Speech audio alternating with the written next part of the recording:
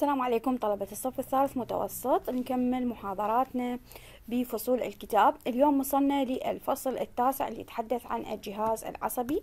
راح نتحدث هنا عن المقدمة حول النسيج جهاز أنواع الجهاز العصبي تقسيماته بعض الأمراض الخاصة بعض الأمراض النفسية الخاصة بالجهاز العصبي أساسا كلمة النفسية يعني شغلات المرتبطة بالجهاز العصبي. هاي المقدمة طبعا متن حفظ بس هي تمهيد لكم على مود تفتهمون شو يتحدث هذا الفصل. يقول لكي يكون الإنسان قادرا على التكيف والعيش في محيطه الحياتي الواسع لابد له من المحافظة على جسمه من جميع المؤثرات الخارجية التي ربما تؤدي إلى الإضرار به. وهذا الشيء نفسه ينطبق على جميع الكائنات الحية الموجودة في الطبيعة مو بس الإنسان.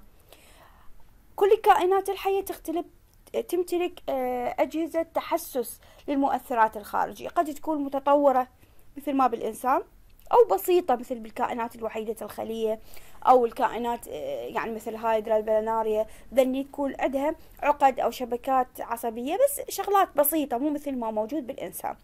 الإنسان يحتاج إلى الجهاز العصبي لسببين. أولا تنظيم عمل جميع الأجهزة الجسمية مع بعضها البعض. وثانيا تنظيم العلاقات مع المحيط الخارجي. يعني يحتاج الجهاز العصبي لشغلة داخلية ولشغلة خارجية. الداخلية اللي تتحدث عن تنظيم عمل الأجهزة الجسمية مع بعضها. فنبض عضلة القلب هو عمل مسيطر عليه عصبيا. تنفس الإنسان في أثناء نومه يتم بيسر وسهولة. يعني إحنا نبض القلب وتنفس الإنسان وحتى تقلص العضلات الملساء بالأمعاء. إحنا نايمين وما ندري. لو ما الجهاز العصبي هو دي ينظم عملهن آه، باستمرار. زين. أما تنظيم العلاقات مع المحيط الخارجي هو أمر غاية بالأهمية فالابتعاد عن المخاطر كالحريق مصادر الضوضاء الاقتراب من الأزهار هي جميعها أمور مهمة. ما يستطيع الإنسان العيش والاستمرار بالحياة ما لم يتلائم معها. هذني الأمور الخارجية وهاي هنا الأمور الداخلية. ما هي أعضاء الحس؟ هي أعضاء الحسية هي العين الأذن الأنف الجلد واللسان. لابد من الإشارة هنا إلى أن ما منحه الباري تعالى للإنسان من إمكانيات العقل والتفكير والإبداع هي مميزات خاصة بها الإنسان من سائر المخلوقات الأخرى. الوحدة الأساسية في بناء الجهاز العصبي هي الخلية. هسه أنا أحفظ ذني السببين وأجي هنا. ما هي الوحدة الأساسية؟ في بناء الجسم بشكل عام هي الخلية. زين أنا إذا أحكي عن الجهاز العصبي. إذا هي خلية عصبية اللي تشكل وحدة البناء والوظيفة. هنا أنا شوية أرجع على تركيب جسم الخلية العصبية. لأن أنا جسم الخلية العصبية راح أعرف أنه هي تتكون من جسم وبنواة وبالنواة أكو نوية ومن بروزات أو تفرعات شجيرية. هاي التفرعات هذا سحولة جسم الخلية. وأكو محور. التفرعات تعمل على إيصال أو نقل الإعاز العصبي آه، مين؟ من خارج الخلية لجسم الخلية. زين. أما آه، المحور فهو ينقل الإيعاز العصبي من جسم الخلية المن للخارج. خلينا نقول عليها. هاي التفرعات تكون قصيرة ومتعددة. بينما المحور يكون طويل ومفرد. وهاي طبعا كانت بالوزارة تجي بس إحنا الفصل الأول تم تركه. ليش تحدثت عن هذني لأن هسه راح أعرف شغلات مرتبطة بجسم الخلي تكون الخلايا بأنواع. مرة تكون أحادية القطب مرة ثنائية القطب مرة متعددة الأقطاب. هاي يصح لها متعددة الأقطاب. ليش؟ نروح للورقة اللي وراها. نلقى هنا أحادية القطب يعني بروز واحد يخرج منه. مت... ثنائية القطب يعني بروزين يطلع منه. متعددة الأقطاب اللي هي هاي. هنا نشوف أكو بروزات هواي تخرج من عدها وهاي شجيرية التفرع هاي أبدا ما تجي بالوزارة هسه نتحدث عن النسيج العصبي. ما هو؟ هو تجمع أعداد كبيرة من الخلايا العصبية. إذا النسيج هو مجموعة من الخلايا العصبية. تقوم بوظيفة محددة كنقل الإيعاز العصبي. إذا وظيفة النسيج العصبي هو يقوم بنقل الإيعاز العصبي ويتكون من مجموعة كبيرة من الخلايا العصبية ويكون لون النسيج العصبي في قشرة الدماغ سنجابي. أما النسيج العصبي اللي يغطي الحبل الشوكي فيكون لونه أبيض انتبهوا للألوان. إجيت الأعصاب. حزمة من المحاور العصبية. وين هن المحاور؟ هذني هذني هذا محور. مجموعة من المحاور يعني الجسم الخلية فوق وهذا المحور. هذني أصيح لهن أعصاب. الأعصاب حزمة من المحاور العصبية. إيش بيها هاي المحاور العصبية؟ ترتبط مع بعضها بنسيج ليفي رابط فإنها تشكل حزمة قوية. إذا هي حزمة قوية من المحاور العصبية المرتبطة مع بعضها البعض بنسيج ليفي آه وراح تنتشر في أنحاء الجسم وقد تكون حسية أو حركية. العصب الحسي هم هو حزبة من المحاور العصبية. بس هذا وظيفته ينقل الحافز من أنحاء الجسم إلى الجهاز العصبي المركزي. أما الحركي هذا بالعكس عكس الحز الحسي. بس هو هم حزمة من المحاور. راح ينقل الإيعاز بالرد من الجهاز العصبي المركزي إلى أنحاء الجسم. انتبهوا واحد يودي للجهاز العصبي وواحد ياخذ الرد من الجهاز العصبي إلى كافة أنحاء الجسم. هذا هنا بالوزاري يجيبه دائما ما الفرق أو قارن دائما يجيبه. أبرز الأسئلة الخلية العصبية هي الوحدة الأساسية في بناء ووظيفة الجهاز العصبي وتكون على أشكال مختلفة. فقد تكون أحادية القطب ثنائية القطب أو متعددة الأقطاب. هاي الخلية متعددة الأقطاب ترسم مهمة. يحتاج الإنسان إلى الجهاز العصبي لسببين أساسيين ذني حكيناهن إحنا النسيج العصبي تعريفه تعريف الأعصاب. هماتين مهم عندكم. تعريف الأعصاب. أه تقسم الأعصاب إلى عصبي و حركي حسي يعني عصب حسي وعصب حركي. قارن بين الأعصاب بس تعاريف أذكرهم هسه ما أقسام الجهاز العصبي. قسم الجهاز العصبي إلى الجهاز العصبي المركزي المحيطي والذاتي. المركزي يشمل الدماغ والحبل الشوكي. عدد أق... زين الدماغ بي بمخ ومخيخ ونخاع مستطيل. أكو رسم بالكتاب. بداية الكتاب يعني صفحة 139 هذا يتحدث عن أجزاء الجهاز العصبي. هنا الجهاز العصبي المركزي راح يتكون من الدماغ والحبل الشوكي. الدماغ يتكون من المخ والمخيخ والنخاع المستطيل. الحبل الشوكي اللي يبدي بنهاية النخاع المستطيل إلى الفقرات القطنية يمتد هنا داخل هذا القوس. وهذا الحبل الشوكي اللي تخرج منه أعصاب. وهذا كلش مهم راح يمتد بالقناة العظمية هذا الفراغ الموجود بالعظم. وهذا إذا تذكرون بالجهاز الهيكلي تحدثنا عنه. هسه أقسام الجهاز العصبي راح يقسم إلى الجهاز العصبي المركزي الجهاز العصبي المحيطي والجهاز العصبي الذاتي. الجهاز يشمل الدماغ والحبل الشوكي. الدماغ راح يقسمه إلى المخ المخيخ والنخاع المستطيل. المخ أكبر جزء من الدماغ يتكون من نصفين هذا نصف والجهة الثانية نصف. يعني هاي صورة من الجانب يفصل بينهما شق عميق ويكون سطحه متعرج. ويسيطر المخ على مراكز الحواس وعلى الحركات الإرادية ومختلف الفعاليات العضلية كالانفعالات النفسية والذكاء والتفكير. أما المخيخ فهذا المخيخ يقع أسفل هذا البنفسجي. طبعا هذا المخ بمجموعة من الفصوص الفص الجبهي الجداري هنا عندي القفوي الخلفي والفص الصدعي. هنا هذا المخيخ اللي يكون لونه بنفسجي هذا يقع أسفل المخ يقع وين؟ أسفل القسم الخلفي للمخ بقسمين بس وظيفة المخيخ بشكل عام تنظيم حركة العضلات الإرادية. مثلا حس حركة إيديكم هو مسؤول عنها. زين اللا إرادية مثلا حركة المعدة والأمعاء راح يكون منو المسؤول عنها؟ مسؤول عنها المخ. النخاع المستطيل يوجد في القسم الخلفي بعه هنا من قاعدة تجويف الجمجمة يصل الحبل الشوكي بالدماغ. أو يصل الدماغ هذا بالحبل الشوكي. تقع فيه المراكز الحيوية المسيطرة على بعض أجهزة الجسم كالتنفس جهاز الدوران وخاصة القلب وبعض من الحركات اللا إرادية البعض البعض بينما أغلبها هي موجودة وين؟ بعض من الحركات اللا إرادية هنا الإرادية هنا تنظيم حركة العضلات الإرادية في الجسم. هسه أجي لهنا. حبل الشوكي اللي هو الجزء الثاني من الجهاز العصبي المركزي. على شكل حبل أسطواني طوله 45 سنتيمتر من نهاية النخاع المستطيل وينتهي بمستوى الفقرة القطنية الأخيرة. يقع الحبل الشوكي داخل قناة عظمية تكونها الفقرات المتصلة مع بعضها البعض بأنسجة متينة. باعوانة صفحة 139 هذا هو الحبل الشوكي. بنهاية النخاع المستطيل والفقرة القطنية الأخيرة. هذا راح يكون شنو هو؟ الحبل الشوكي. نرجع لدرسنا. أحفظ طوله. صار عندي طول المريء طول الحالب وطول الحبل الشوكي وطول العمود الفقري وعدد الفقرات. ذني أرقام مهمة. زين.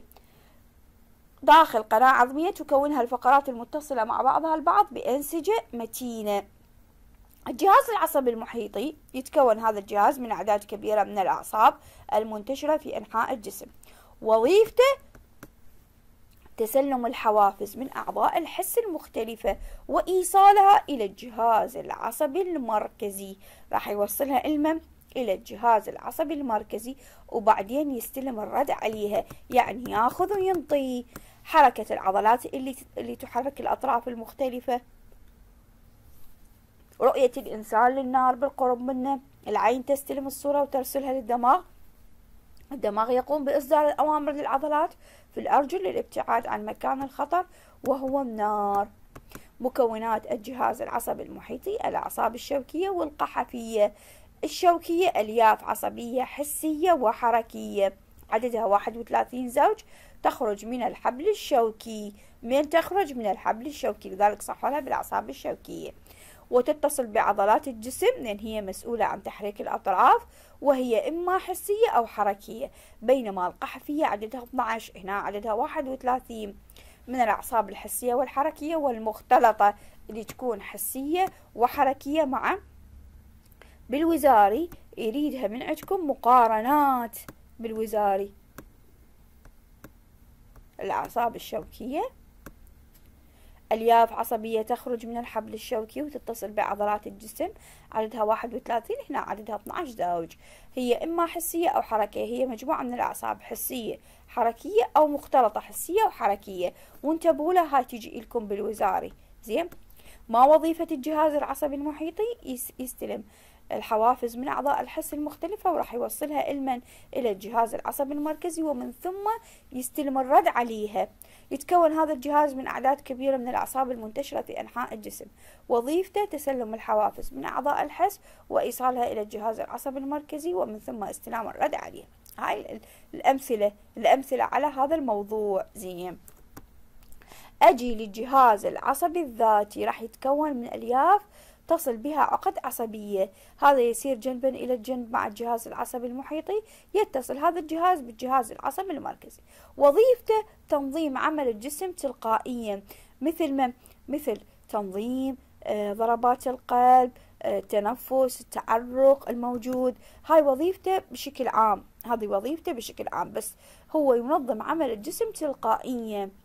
مجموعة من الألياف اللي راح تتصل بها عقد وراح يصير جنبا إلى جنب مع الجهاز العصبي المحيط. يتقسم هذا إلى الجهاز العصبي الودي وجار الودي. أو شو صيح له؟ العطوف السمبثاوي أو الباراسمبثاوي السمبثاوي أو العصبي الودي دائما يجيبوا لي إياه. مجموعة من الأعصاب الدقيقة تخرج من جانبي القسم الوسطي من الحبل الشوكي. جانبي القسم الوسطي من الحبل الشوكي وظيفته تنظيم ضربات القلب. هذا عكس هذا. شبيه هذا؟ هذا مجموعة من الأعصاب الدقيقة اللي تخرج من مناطق الدماغ وكذلك الجزء السفلي للحبل الشوكي. قبل شوية كان القسم الوسطي كان جانبي القسم الوسطي. هذا شي يسوي وظيفته؟ عكس عمل الجهاز السمبثاوي. مثل تقليل ضربات القلب يقلل ضربات القلب. وهذا بالوزاري جايبه هواي لكم مكرر. مجموعة من الأعصاب تخرج من جانبي القسم الوسطي من الحبل الشوكي. هنا دقيقة اللي تخرج من مناطق الدماغ وكذلك الجزء السفلي للحبل الشوكي. هذا وظيفته يزيد ضربات القلب هذا يقلل. ما هي فسلجة الجهاز العصبي؟ تقوم الأعصاب بسلسلة من الوظائف. هدفها تنسيق عمل الجهاز العصبي. أو عمل جسم الإنسان وتنظيم علاقاته مع المحيط الخارجي ومن حيث تسلم الحوافز الخارجية والرد عليها بأوامر مناسبة. شنو يعني هاي تسلم الحوافز الخارجية والرد عليها بأوامر مناسب؟ هسا مثلا دا تمشون انتو وفجأة أكو دبوس جاكم برجلكم بأقل من ثانية. هذا الدنبوس يصعد إيعاز اللي هو تسلم حافز خارج. هذا حافز خارجي منه شكة الدنبوس أو انشويتو يعني كتشي حار دستو أو لمستو. ينتقل على السريع. هذا العصب الحسي. ينقل شنو؟ ينقل إيعاز المن للدماغ. هذا شغلة مؤذية. شي يرجع للرد. شنو الرد عليها؟ يرد عليها شغلتين. عن طريق العصب الحركي. يقول له اسحب إيدك وحس بالألم. أول شي يقول له إيعاز حس بالألم على مود تسحب. لذلك هاي أقل من ثانية. أخلي رجلي على الشيء أو إيدي على الشيء المؤذي أصيح اخ وأسحب. كرد فعل إنه أسحب. هذا يصح له رد فعل؟ تسلم الحافز الخارجي اللي هو حافز من برا. والألم الرد عليه هو الألم والسحب. الإيعاز العصبي هو انتقال الحوافز والأوامر من خلية إلى أخرى. عندي وصلة عصبية وعندي وصلة عضلية. ما هي الوصلة العصبية؟ هي نقطة التقاء التفرعات الشجيرية لخلية عصبية مع الفروع الدقيقة لمحور خلية أخرى. هي نقطة انتقال الإيعاز العصبي بين خليتين. نقطة انتقال الإيعاز العصبي بين خليتين. باعوا هاي الصورة ما مطلوبة من عندكم هاي رسم بس باعوها للتوضيح. هذا هاي خلية عصبية. هاي خلية عصبية. هاي جسم هاي محور هاي تفرعات دقيقة هاي التفرعات مال المحور. تلتقي ويا من؟ ويا التفرعات الدق... هاي التفرعات الشجيرية هاي تفرعات شجيرية هاي الخلية العصبية. تلتقي مع الفروع الدقيقة هاي الفروع الدقيقة لمحور خلية عصبية. وهنا راح ينتقل الإيعاز منا لهنا. مو ينتقل من هاي لا ينتقل من المحور للشجيرات. لأن هي وظيفة المحور هو النقل. زين هنا هم وظيفة الشجيرات نقل بس تنقل من الخارج لجسم الخلية العصبية. إذا الوصلة العصبية اللي هي سحول التشابك هاي اللي هي نقطة التقاء التفرعات الشجيرية لخلية عصبية مع الفروع الدقيقة لمحور. هذا محور. خلية عصبية أخرى وهي نقطة التقاء راح تصير بين من؟ أو انتقال الإيعاز العصبي بين خليتين. نقطة آه، انتقال الإيعاز العصبي بين خليتين. هاي الوصلة العصبية. أكو وصلة ثانية يصحولها الوصلة العضلية. أكو وصلة أخرى يصحولها الوصلة العضلية. شنو هي هاي الوصلة العضلية؟ هي منطقة التقاء تفرعات الخلية العصبية مع العضلات. هاي خلية عصبية هاي خلية عصبية هاي تفرعات المحور تروح بعضلة بعضلة تروح مو بخلية عصبية أخرى. هاي سحولها الخلية آه نصح لها آه الوصلة العصبية العضلية اللي هي نقطة التقاء فروع المحور لخلية عصبية مع عضلة مع عضلة. زين. هذا على مود نرجعه مثل ما كان. وينزل بالملزمة ما بيه مشكلة.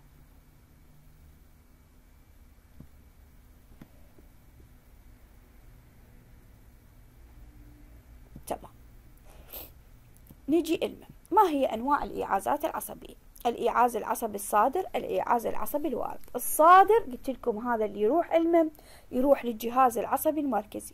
الصادر من الجهاز العصبي المركزي إلى أنحاء الجسم. أما الوارد ينقل الحوافز الخارجية نحو الجهاز العصبي يرد إلى الدماغ. هذا يصدر من الدماغ. تبلغ سرعة انتقال الإعازات العصبية في جسم الإنسان بحدود 60 متر على الثانية وهاي سرعة جدا كبيرة 60 متر بالثانية ينتقل. تقسم الأفعال العصبية أفعال إرادية أفعال انعكاسية زين؟ وأفعال لا إرادية. هاي خل أظللها على مود. تميزوها.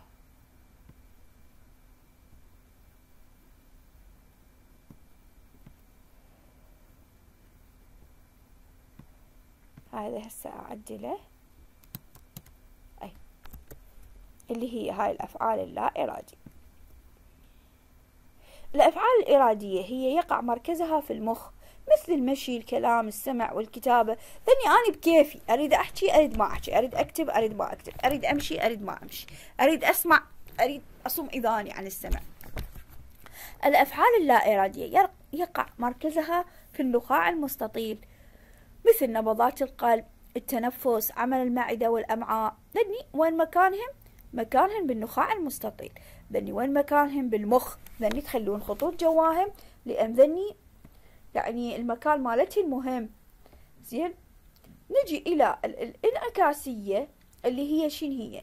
مركزها النخاع الشوكي. مثلا عند سحب اليد أو القدم من. يصير بها وخز بأبرة يعني ينشك بأبرة أو دنبوس تكون لا إرادية. هذا السحب القوس الانعكاسي مجموعة من الأعصاب اللي تنقل الإيعاز وترد عليه. هاي مجموعة من الأعصاب تنقل الإيعاز هذا منبه. قد يكون مثلا أكو نار شوينة حرارة. فتنقل الإيعاز للحبل الشوكي وهاي ترد عليه الصادر. تقول للعضلة انسحبي. زين؟ هذا يصح لك قوس انعكاسي. لا يمكن تعويض الخلايا. بالدماغ بخلايا أخرى بحال سلب فأصلا انقسام الخلوي بالدماغ يتوقف. الجلطة الدماغية ناتجة عن عدم وصول الدم في الأوعية الدموية الشعرية المغذية لخلايا الدماغ بسبب هذا راح يسبب تجلط الدم بهاي الأوعية. يسبب تجلط الدم بهاي الأوعية. وهذا سؤال جاي بيعلل حدوث الجلطة الدموية لبعض الأشخاص نتيجة الجلطة الدماغية لبعض الأشخاص. أقول له ناتجة عن عدم وصول الدم في الأوعية الدموية الشعرية المغذية لخلايا الدماغ. بعض الأمراض النفسية هنا ما هي الأسباب اللي تؤدي إلى خفض عمل الجهاز العصبي وكفاءته. ضغوط نفسية غير مسبوقة على الإنسان. ضغوط بالعمل وضوضاء وسهر. إفراط في التدخين تناول الكحول والمخدرات وحتى المنبهات الشاي والقهوة. الأعراض شعور مستمر بالتعب. هاي أسباب الكآبة. عدم الشهية للطعام والصداع والدواء. الانطواء وعدم مخالطة الآخرين وانخفاض مستوى الإنتاج وعمل الشخص. آخر شيء أعراض جانبية أخرى كالانفعال والغضب الشديد وعدم التركيز عند القراءة والعمل اليومي اليدوي. مراجعة الطبيب وتناول العلاج اللازم الابتعاد عن الضوضاء والسهر والتدخين وشرب المسكرات والمنبهات. أيضا ممارسة الرياضة أو أي هواية أخرى مفيدة والاهتمام بالتغذية الجيدة. الوقاية بشكل عام أنه أني أمارس الرياضة والابتعاد عن مصادر الضوضاء ودخان السيارات والمولدات. بشكل عام أني أبتعد عن أي شيء مؤذي الاهتمام بتنظيم أوقات العمل والراحة والتغذية المتوازنة والتغذية المتوازنة مع الرياضة كلش مهمات عدم التدخين وشرب الكحول والمنبهات والمخدرات والإكثار من المنبهات مثل الشاي والقهوة. أكو مرض ثاني اسمه انفصام الشخصية أو اسمه مثل ما مذكور بالكتاب اللي هو يقولوا شيزوفرينيا. شنو شيزوفرينيا؟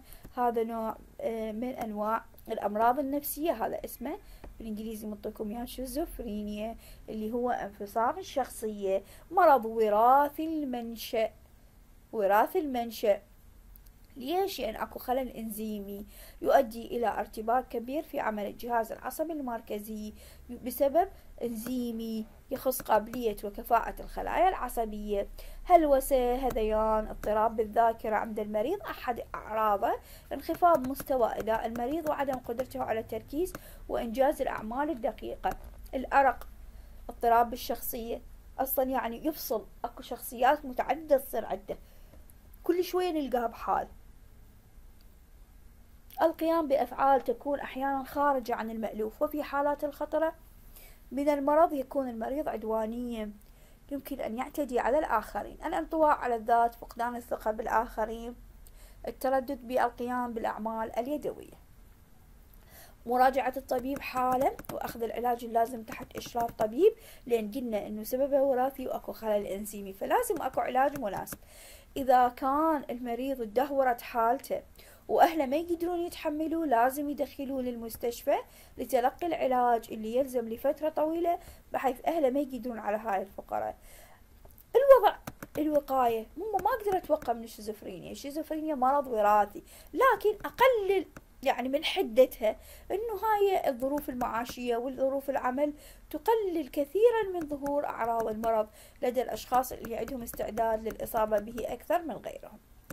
هسه خلص هذا الفصل. إذا أريد احل الاسئلة عرف المفاهيم هذا المفاهيم. كلية الموجودات عندكم. كل اللي إحنا حكيناهن. بس ذني ذاكرتي هنا ما الفرق بين العصب الحسي والحركي؟ هذا بس تعاريف. ما أقسام الدماغ مخ ومخيخ ونخاع مستطيل. عندما لا يستطيع الشخص السيطرة على حركة حركات يده فهذا يعني أن خللا قد أصاب المخيخ. ليش؟ ليش دا أقول المخيخ؟ لأن لو نرجع لوظيفة الجهاز العصبي وطبعا هاي الأسئلة بالكتاب تنحل. ليش تنحل؟ لأن هواي يكررون منها فدائما إحنا ننتبه له. باعوا هنا بالمخيخ. شنو وظيفته؟ تنظيم حركة العضلات الإرادية في في الجسم. من العضلات الإرادية؟ منها من أحدها هي السيطرة على حركات إيدي زين. عندما تركض تزداد ضربات قلبك واللي يقوم بذلك هو الجهاز الودي. لو تقل أقول الجهاز جار الودي. يمتد حبل شوكي بين النخاع المستطيل والفقرة القطنية. لو المخيخ والفقرة العجزية المخيخ والفقرة العجزية النخاع المستطيل والفقرة القطنية الأخيرة. على أي أساس حكيتي هذا الكلام؟ ترحون صفحة 141 وينتهي بمستوى الفقرة القطنية الأخيرة. زين. هذا موجود عندنا بالكتاب نصين يمتد الحب عرفنا فسر يتعرض بعض الأشخاص إلى الجلطة الدماغية هاي نصا إجتي بالتمهيدي 2023 نصا إجتي آه، لأن هو ناتجة عن عدم وصول الدم إلى الأوعية الدموية الشعرية المغذية لخلايا الدماغ بسبب تجلط الأوعية بها, بها. زين. الأوعية الدموية إلها. يصاب بعض الأشخاص بالأمراض آه، العقلية. هو مو بس آه، نتيجة لخلل في عمل الإنزيمات الخلايا العصبية بالدماغ أيضا لضغوط الحياة اللي موجودة. يعني هسه لو تروحون بسبب الضغوط الكبيرة اللي تعرض لها الإنسان. أدت إلى ظهور ضغوط نفسية غير مسبوقة. زين؟ يعني أنا أكتب خلل إنزيمي بعمل الخلايا العصبية في المخ وأكتب وياه ضغوط الحياة. أضيف هاي العبارة. الوصلة العصبية هي منطقة اتصال التفرعات الشجيرية. يقول صحح العبارات الآتية إن وجد فيها خطأ. الوصلة العصبية التقاء التفرعات الشجيرية لخلية عصبية مع محور خلية عصبية. خطأ. هذا الجزء الأول صحيح الوصلة العصبية منطقة اتصال التفرعات الشجيرية لخلية عصبية مع الفروع الدقيقة مو مع المحور نفسه. فروق الدق... الفروع الدقيقة لمحور خلية أخرى. القوس الانعكاسي هي الأعصاب الناقلة للإيعاز والرد عليه كما في عمل المائدة. صحيح هذا الشق. قوس الانعكاسي من الأعص... هي الأعصاب الناقلة للإيعاز العصبي والرد عليه مثل المثال هو خطأ. سحب اليد. الأسئلة الوزارية كلش مهم الاطلاع عليه. عرف الأعصاب الشوكية. يتعرض بعض الأشخاص إلى الجلطة الدماغية علل ما وظيفة الجهاز العصبي الودي. بس هذا جايبين عليه بالتمهيد.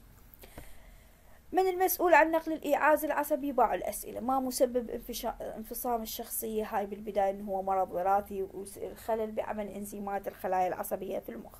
أرسم مع التأشير خلية عصبية نموذجية وهذا الرسم الوحيد المطلوب من عندكم. لون النسيج في قشرة الدماغ سنجابي ولون النسيج اللي يغطي الحبل الشوكي أبيض. انتبهوا لهن هذين الأسئلة.